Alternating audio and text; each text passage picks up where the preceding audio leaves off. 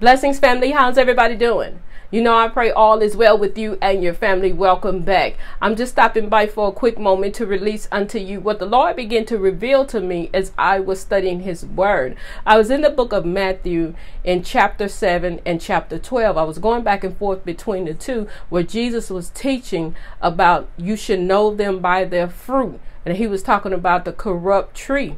So when I began to study the word, what, I got out of the word is that he was saying the heart is the root.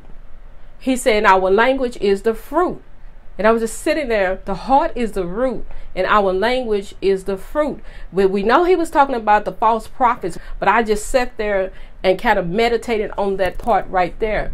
And I began to think about how everything flows from the heart, people. Everything flows from the heart. And we know that people harbor so much in their heart. They have bitter, they have anger, they have lust, they have so many things. They have mess, they have gossip. They just have so much embedded in their heart. And some of that stuff is deeply rooted. My God. And it's flowing from the heart. And as I begin to think about, you should know them by their fruit, meaning their actions as well. A lot of these people's actions are speaking louder than their words. Their actions are speaking so loud. I am looking at these people on a day to day basis.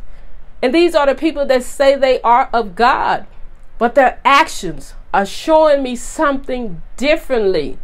And when we get back to that heart, it says, out of the abundance of the heart, the mouth will speak it, people of God. They are speaking from a bitter heart, an angry heart. A lot of these people are doing that.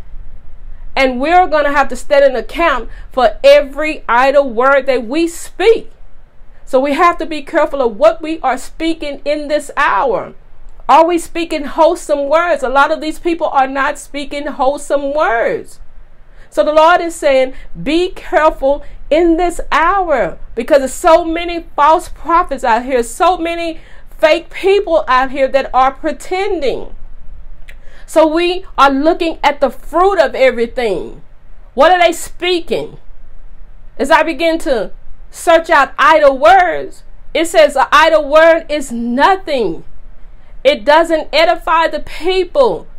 It doesn't minister grace unto the people, nor does it give instructions. And this is to the people that are listening. It's not doing anything for them. And these people are going to have to stand an account for every idle word. That's what the Lord began to show me. So, what kind of fruits are we bearing? Are we speaking wholesome words to the people? We know that God knows our heart, and everything is flowing from that heart. My God.